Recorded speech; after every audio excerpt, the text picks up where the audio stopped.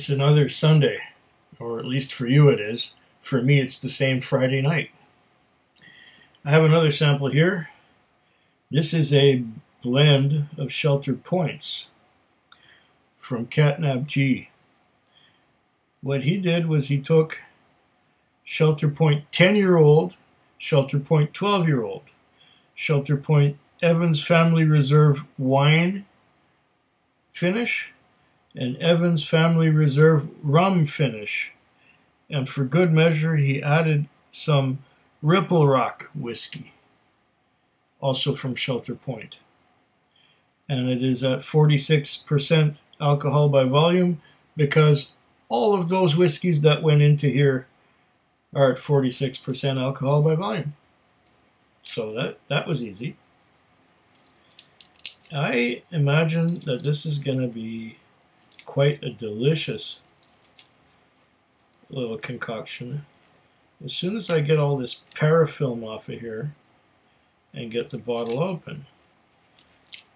This is actually a shelter point bottle. Nah. Or it's a bottle that used to contain shelter point in one of the shelter point um,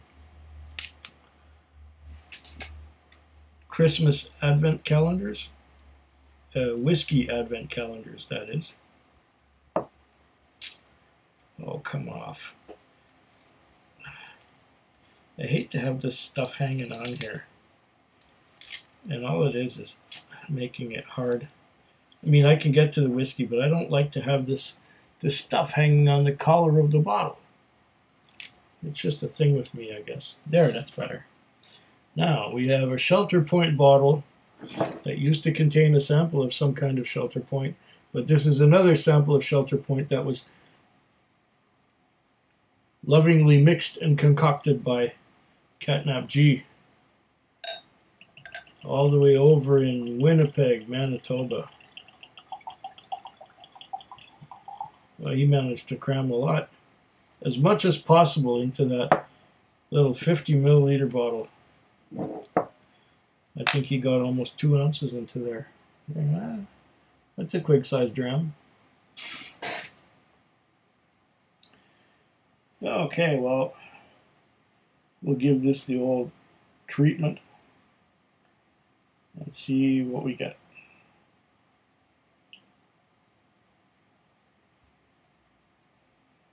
Oh, oh, Oh,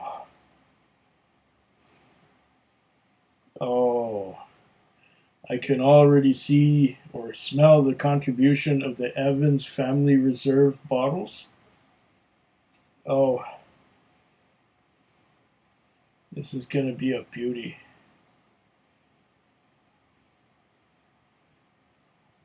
Well, you know, quality in, quality out. You put some of the best whiskeys on the planet Okay, I'm biased. But you put some of the best whiskeys into a blend, and you'll get one of the best blends.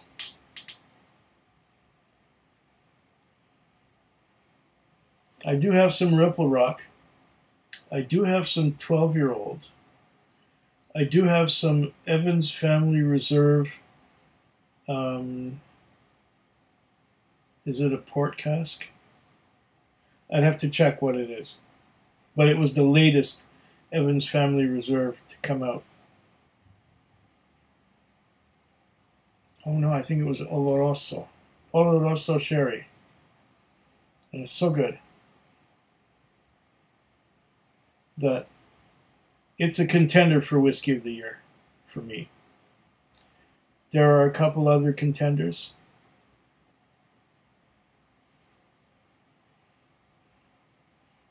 But one of which I already finished a bottle, so it's not really a contender anymore. I do have two contenders for Whiskey of the Year right now. Unless, of course, I try something better, then I'll have like three. Oh.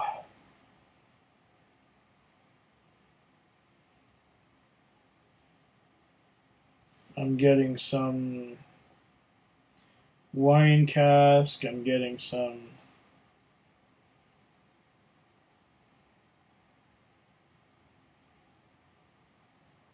vanillas and Tootsie Roll chocolate. A little bit of that sweetness from the rum cask of the Evans Family Reserve. And Ripple Rock. Interesting. Interesting to add Ripple Rock to all of those.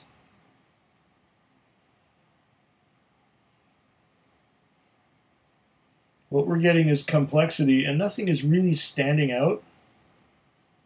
But there's vanilla, there's dark fruits, there's sweetness, there's Tootsie Roll chocolate. This is going to prove to be a superb blend just going by the nose of it. Oh.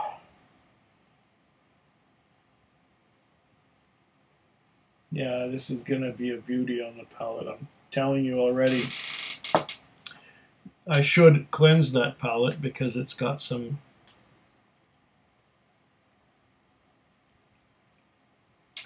other things on it.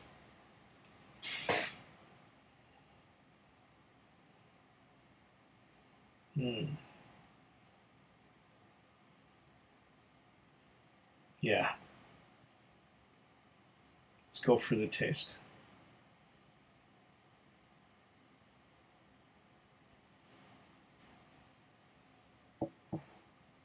Hmm.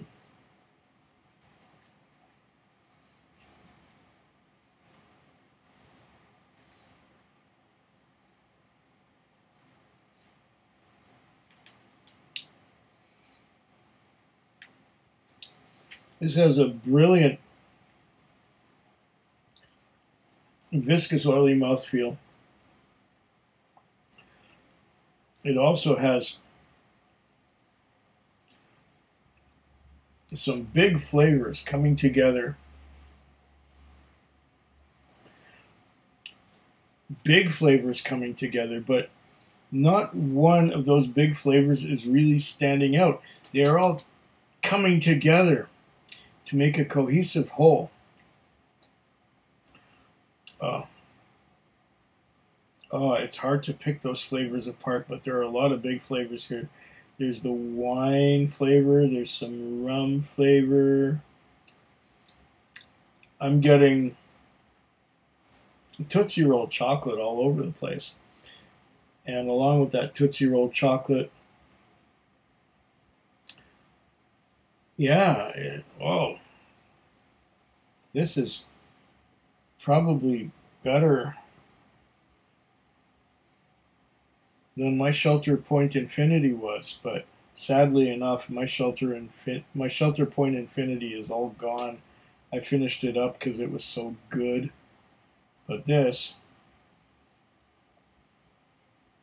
this I think is even a little better because it has only the top quality shelter point releases blended into it.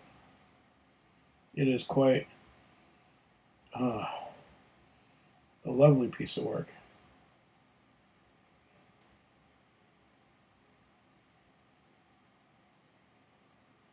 Mm.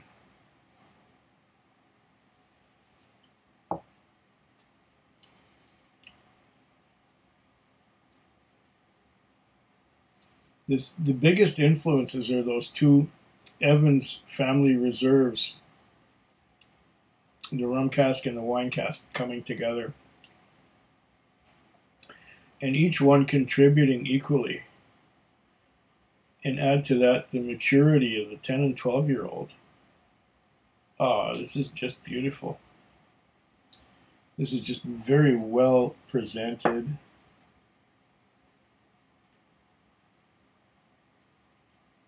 And I'll even say delicious. Uh, let's get the last drops in there. I think it's perfect as is. Perfect as it is. It just does not need any improvement. But what I will do is I will add just a tiny little bit of water. Two drops. Two drops and see what that does to it. This is not necessarily to bring the ABV down because 46% alcohol by volume is the perfect drinking strength. This is just maybe to coax some more flavor out of it. See if that works. See if I can coax a little bit more flavor out of it.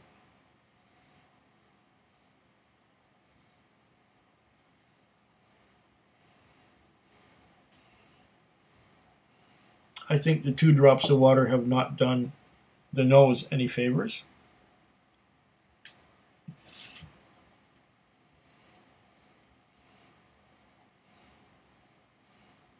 Tootsie Roll chocolate is still there, thankfully.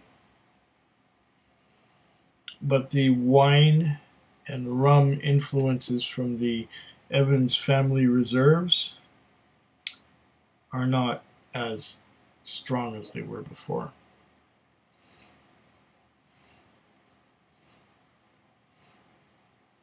Hmm.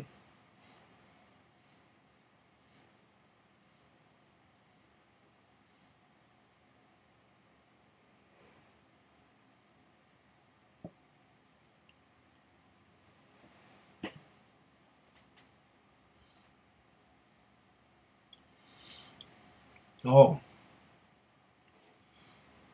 Oh. On the palate, it's even better. The water doesn't do the nose any flavors. Doesn't do it any favors. But the palate is opened up more, even, than it was before. Oh.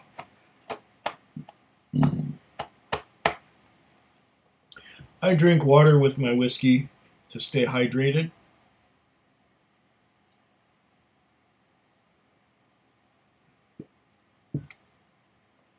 And when the water chases the air down my gullet, air gets trapped inside. And then it wants to find a way out. And that results in a burp. So there you go.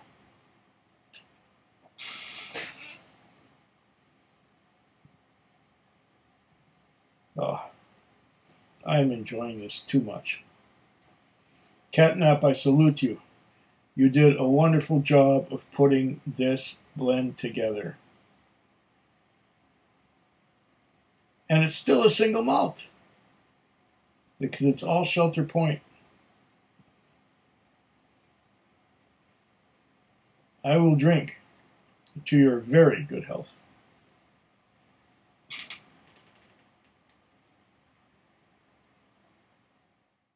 Food Quig. Uh, food quick. Food quick. Food Quig. Food quick. Yeah.